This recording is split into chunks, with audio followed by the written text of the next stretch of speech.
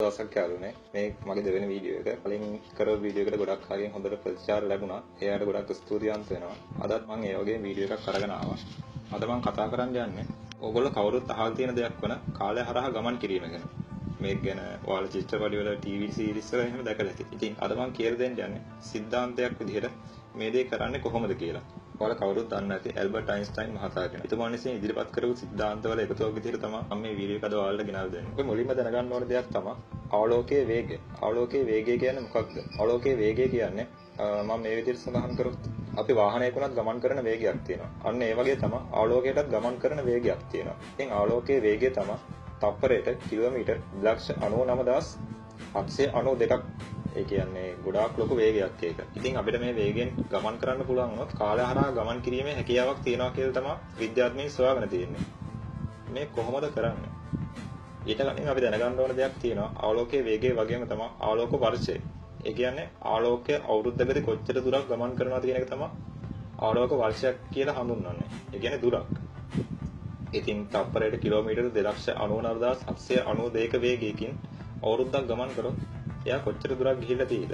අන්නේ දුර තමයි ආලෝක වර්ෂයක් කියලා හඳුන්වන්නේ. ආලෝකයේ වේගය ගැන කතා කරද්දී අපි මෙන්න මේ උදාහරණයකට යනවා. උදාහරණයක් විදිහට සූර්යයාගේ ආලෝකය පෘථිවියට වැටෙන්න විනාඩි 8යි තප්පර 20ක් යනවා.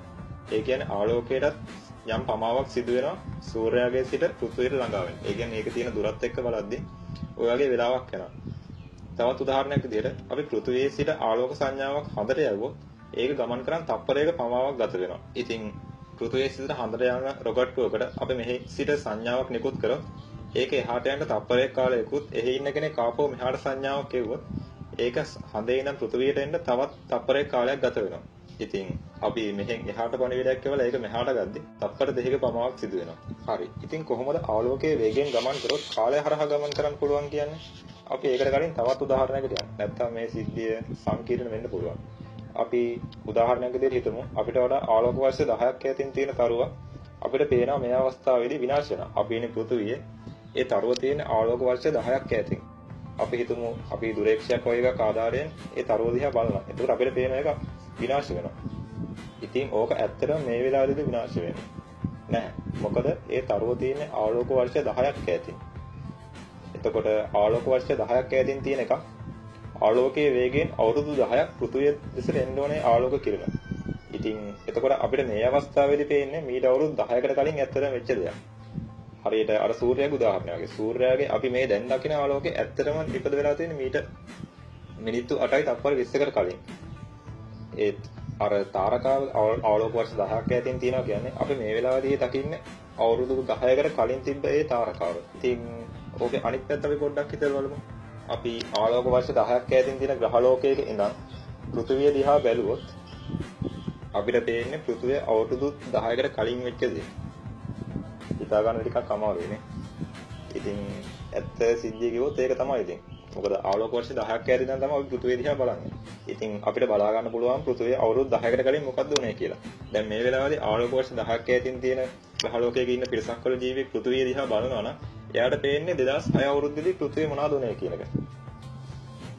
ඉතින් ඒ මේ වෙලේට ආලෝකය වේගෙන් ගමන් කරන්න අවශ්‍ය වෙන්නේ. මම කිව්වා අපිට වඩා ආලෝක වර්ෂ 10ක් ඈතින් තියෙන තරවකින් නම් තමයි අපි පෘථිවිය දිහා බලන්නේ. ඉතින් අපි ඒ තරුවට සාමාන්‍ය වේගෙන් ගමන් කරොත් බෑ අපිට අවුරුදු 10කට කලින් පෘථිවිය උනේ මොනවද කියලා බලා ගන්න. ඉතින් අපිට සිද්ධ වෙනවා ආලෝකයේ වේගෙන් නම් තරම ගානේ ග්‍රහලෝක වෙත යන්න. හැබැයි ආලෝකයේ වේගෙන් ගියාට මදි. ආලෝකයේ වේගයට වඩා දෙගුණයක්වත් වේගෙන් අපි එහාට යන්න ඕනේ. නැත්තම් මෙහි තියෙන ආලෝක කිරණ අපිට කලින් යනවා ඒ ග්‍රහලෝකයට. ඉතින් අපි ආලෝකයේ වේගයට වඩා දෙගුණයක් වේගෙන් ආලෝක වර්ෂ 10ක් ඇතින් තියෙන තරවකට ගියොත් අපිට පුළුවන් අවුරුදු 5කට කලින් පෘථිවිය මොකද උනේ කියලා බලා ගන්න. ඉතින් අන්න ඒ වගේ දෙයක් තමයි මෙතනදී කතා වෙන්නේ. හැබැයි ආලෝකයේ වේගයෙන් යම් ස්කන්ධයක් ගමන් කරොත් ඒක ශක්තියක් බවට පත් වෙනවා. අන්න ඒ කතන්දරය ගැන මම ඊළඟ වීඩියෝ එකේදී කියන්නම්. අපිට ඒක්‍රමේ පාවිච්චි කරලා පුළුවන් වෙනත් මාන වලට ඒකේ වෙනත් ඩයිමෙන්ෂන් වලට ගමන් කරන්න. උදාහරණයක් විදිහට ඔයාලා දකින්න ඇති ඉන්ටර්ස්ටෙලර් කියන චිත්‍රපටයේදී ওই સિદ્ધාන්තය පාවිච්චි වුණා. එයාලා කළු කොහරයක ආධාරයෙන් යම් තරණයක් අරගෙන ආලෝකීය වේගය ලබාගෙන එයාලට පුළුවන් වුණා වෙනත් මානයකට ගමන් කරන්න. අන්න ඒ වගේ දේවල් අපිට කරන්න පුළුවන්.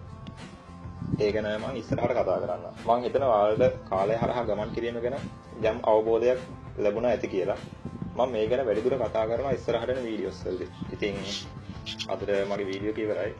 ඔයාලා මේක ලයික් කරන්න, කමෙන්ට් කරන්න, ෂෙයා කරන්න. තව වීඩියෝ එකකින් එහෙනම් අපි හම්බෙමු යාළුවනේ.